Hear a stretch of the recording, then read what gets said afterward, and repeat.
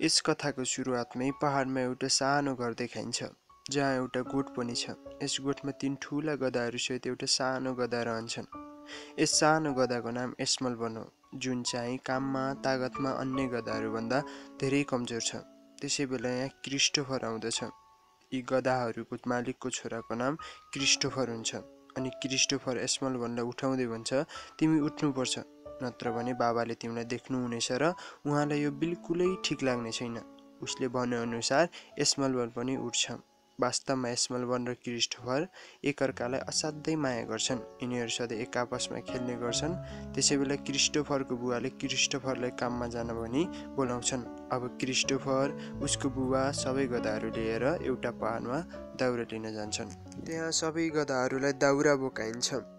तर स्मलवन कमजोर भएकोले उसले धेरै दाउराहरू बोक्न सक्दैन। त्यसैले क्रिस्टोफर उसको माथि ससाना दाउराहरू राखिदिन्छ। तर पनि स्मलवनलाई यो धेरै भारी लाग्छ। त्यसै क्रममा सबैजना पहाडमा चढिरहेका हुन्छन्। त्यसै बेला स्मलवन चिप्लिएर लड्छ र सबै दाउराहरू यत्र तत्र छरिन्छन् क्रिस्टोफर दौडदै त्यहाँ पुग्छ र दाउराहरू टिप्छ। अब क्रिस्टोफर आफै पनि केही दाउराहरू बोकेर माथि जान्छ। त्यहाँ क्रिस्टोफरको बुवाले क्रिस्टोफरसँग भन्छन्। तिमीलाई यो लाग्दैन कि एसमेलबलले तिम्रो कामले अझै बढाइरहेको छ? क्रिस्टोफरले भन्छ त्यस्तो होइन बुवा यसले मलाई धेरै सहयोग गर्छ। त्यसपछि सबैजना घर फर्कन्छन् क्रिस्टोफरको बुवाले फेरि भन्छन् तिमीलाई यो लाग्दैन एसमेलबनले अरू गधाको बराबर खान्छ। जति यसले काम गर्छ त्यति यसले खाने खर्च पनि निस्कँदैन क्रिस्टोफरले भन्छ यस्तो केही होइन बुवा आज यो धेरै थाकेको थियो भोलिबाट यसले राम्रो काम गर्नेछ। उसको बुवाले फेरि भन्छन् यो अब धेरै बुढो भइसक्यो। यसको शक्ति पनि सकिसक्यो। हामीले यसलाई अब बेच्नुपर्छ। यो सुनेर क्रिस्टोफर अत्यन्तै दुखी हुन्छ। ऊ यसमेलवनलाई अगालो हाली रुन थाल्छ। वास्तवमा उसले यसमेलवनलाई कुनै पनि हालतमा छोड्न चाहँदैन। उसले आफ्नो बुवासँग बिन्ती गर्छ तर उसको बुवाले भन्छ तैँले बुझ्नुपर्छ यहाँ गाउँमा काम गर्न धेरै गाह्रो हुन्छ। यसमा भने यस्ता गाह्रा काम गर्न सक्दैन। म यसलाई सहरमा लगी बेचेर आउँछु। सहरमा काम सजिला हुन्छन् जसले गर्दा यसको जिन्दगी राम्रो हुनेछ। यसको बदलामा हामीलाई एक चाँदीको सिक्का मिल्नेछ। क्रिस्टोफर पनि यस कुरामा सहमति जनाउँछ। यति भइसकेपछि क्रिस्टोफरका बुवा त्यहाँबाट निस्कन्छन्। क्रिस्टोफर एस्मल भन्नलाई भन्छ कि तिमी अत्तिनु पर्दैन। भोलिबाट तिमीलाई दाउरा पनि बोक्नु पर्दैन। अनि म बाचा गर्छु कि तिमीलाई यस्तो मान्छेसँग बेच्छु जसले तिमीलाई माया र धेरै स्याहार गर्नेछ। अर्को दिन दुवैजना सहरमा भएको ठुलो बजारको गेटमा पुग्छन्। गेटमा भएको द्वारपालले दुवैजनालाई सोध्छ तिमीहरू कहाँ जाँदैछौ? क्रिस्टोफरले जवाब दिन्छ म मेरो गदा जसको नाम एस्मल बन हो उसलाई बेच्न जाँदैछु। उसलाई देखेर द्वारपाल ठुलो स्वरले हाँस्छ त्यसपछि भन्छ यो यहाँबाट त्यत्रो दोकानमा बिक्री हुन सक्छ। अब दुवैजना त्यस दोकानतिर जान्छन् जहाँ एउटा मान्छे चक्कुमा धार लगाइरहेको हुन्छ। उसले भन्छ म यस गदाको बदलामा एउटा चाँदीको सिक्का दिन सक्छु।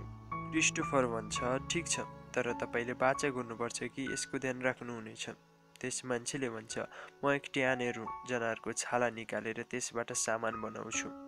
यो सुनेर दुवैजना एकदमै त्रसित हुन्छन् र त्यहाँबाट भाग्छन्। दुवैजना बजारको चारैतिर घुम्छन् तर भन्नलाई कसैले किन्दैन। त्यसपछि दुवैले एक ठाउँ देख्छन् जहाँ घोडाहरू बिक्री भइरहेका हुन्छन्। क्रिस्टोफर पनि भन्नलाई लिई स्टेजमाथि चढ्छ। त्यसै बेला बोली लगाउने मान्छेले भन्छ यहाँ घोडाहरूको मात्र बोली लाग्छ। गदाहरूको होइन। यसलाई यहाँबाट निकालिहाल। किनकि यो एकदमै कमजोर देखिन्छ। यो कुरा सुनेर त्यहाँ भएका सबै व्यापारीहरू हाँस्न थाल्छन्। क्रिस्टोफर आफ्नो गधाको बेइज्जत सहन सक्दैन र आफ्नो गधाको तारिफ गर्न थाल्छ। उसले भन्छ यो एकदमै समाजदार छ। यसले चाह्यो भने दुई राजालाई पनि एकैचोटि बोक्न सक्छ यो कुरा सुनेर बोली लगाउने मान्छे खुब हाँस्छ। उसले यसमा भनेको पुच्छर तान्छ र भन्छ यसको बोली सुरु हुन्छ हजार चाँदीका सिक्काबाट यो सुनेर त्यहाँ भएका सबैजना हाँस्न थाल्छन्। किनकि यसको मूल्य एक चाँदीको सिक्काभन्दा बढी हुन सक्दैन। अब त्यो मान्छे स्मेलवानको ढाडमाथि चढ्छ। यसबाट स्मेलवानलाई एकदमै गाह्रो हुन्छ। त्यसै बेला स्मेलवानले त्यस मान्छेलाई लात हानेर लडाउँछ र दुवैजना त्यहाँबाट भाग्छन्। बिस्तारै बिस्तारै पुरै दिन यसै गरी बित्छ तर स्मेलवानलाई कसैले किन्दैन। रात परेसँगै पुरै बजार बन्द भइसकेको हुन्छ र दुवैजना एक ठाउँमा गएर बस्छन्। दुवैजना एकदमै चिन्तित देखिन्छन्। क्रिस्टोफरले स्मेलवानलाई कुनै पनि हालतमा बेच्नुपर्छ। किनकि उसको बुवाले भनेका हुन्छन् कि यसलाई बेचेर नै घर फर्क। त्यसैले उसलाई स्मरण बिग्रिन भएकोले असाध्यै चिन्ता लागिरहेको हुन्छ। दुवैजना अब के गर्ने भनी सोध्दै उदास भएर बसिरहेका हुन्छन्। त्यसै बेला दुवैले एउटा आवाज सुन्छन् कि तिमी नै यस गधाको मालिक हौ? क्रिस्टोफरले पनि हो भन्छ। त्यस व्यक्तिले भन्छन् मलाई मेरो श्रीमतीलाई बेथलम लिएर जानु छ। के तिमी यस गधालाई बेच्न चाहन्छौ? यसको बदलामा म तिमीलाई एक चाँदीको सिक्का दिनेछु। क्रिस्टोफर भन्छ म चाहन्छु कि यसलाई एउटा राम्रो घर मिलोस्। उनले भन्छन् तिमी चिन्ता नगर योसँग एउटा राम्रो घर हुनेछ साथसाथै म यसको राम्रो खाल गर्नेछु। यो सुनि क्रिस्टोफर एकदमै खुसी हुन्छ। यसमा पनि खुसी हुन्छ किनकि उसले एउटा राम्रो घर मिलेको हुन्छ जस्तो क्रिस्टोफरले चाहेको हुन्छ। अब स्मेलवन आफ्नो नयाँ मालिकसँग जान्छ। उसले पछि फर्किएर क्रिस्टोफरलाई हेरी अन्तिम अलविदा गर्छ र खुसी खुसी आफ्नो मालिकसँग जान्छ।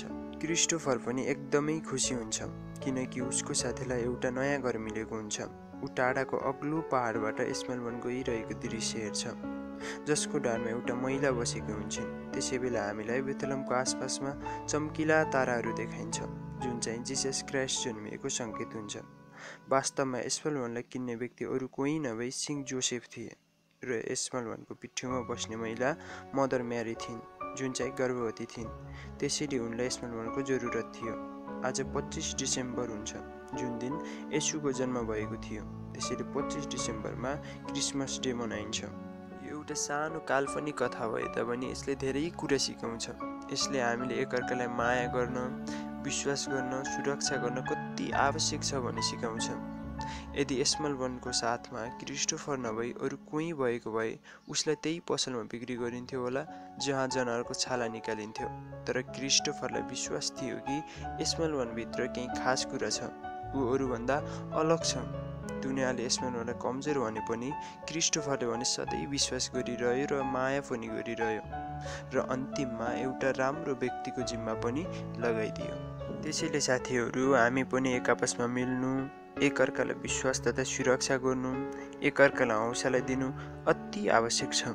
त्यसकारण हामी सबै एक आपसमा आत्मीयता सम्मान र मायाको स्थिति सिर्जना गरी आजदेखि मिलेर बसौँ।